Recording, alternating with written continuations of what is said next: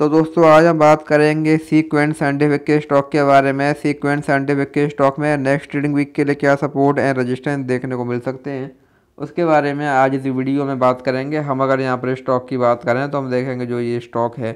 ये हमको पिछले एक लंबे समय से यहाँ पर लगातार क्लियर अप ट्रेंड में देखने को मिल रहा है। हमको स्टॉक में लगातार हाइयर हाई हाइयर लो वाला पैटर्न यहाँ पर देखने को मिल रहा है। और जो स्टॉक है, वो यहाँ पर लगातार अपने इस ट्रेंड लाइन को फॉलो करते हुए ऊपर जा रहा है।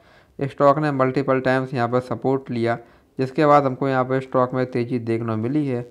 और अभी अगेन हमको यहाँ पर स्टॉक में इसी टेन लाइन पर से यहाँ पर अगेन तेज़ी देखने को मिल रही है। आज भी हमको यहाँ पर स्टॉक में six point five eight percent की यहाँ पर तेज़ी देखने को मिली है। तो यहाँ से अभी हम स्टॉक में बात करें, यहाँ से अगर स्टॉक में ये तेज़ी कंटिन्यू रहती है तो यहाँ से अभी और तेज़ी की कंडीशन में हमारे पास यहाँ पर स्टॉक में वन थर्टी थ्री का पहला यहाँ पर रजिस्टेंस देखने को मिलेगा। अगर स्टॉक ने इसको भी यहाँ ब्रेक किया, देन यहाँ से हमको स्टॉक में अगेन एक अच्छी तेज़ी, एक अच्छी बाइंग यहाँ पर देखने मिल सकती है। इसके बाद हमको यहाँ पर स्टॉक में वन फिफ्टी फोर देन यहाँ से हमको स्टॉक में वन सेवेंटी और अगर स्टॉक इसको भी यहाँ ब्रेक करता है, देन यहाँ से हमको स्टॉक में again one eighty five and then यहाँ से हमको स्टॉक में टू हंड्रेड और टू ट्वेंटी तक के लेवल्स भी यहाँ पर देखने को मिल सकते हैं।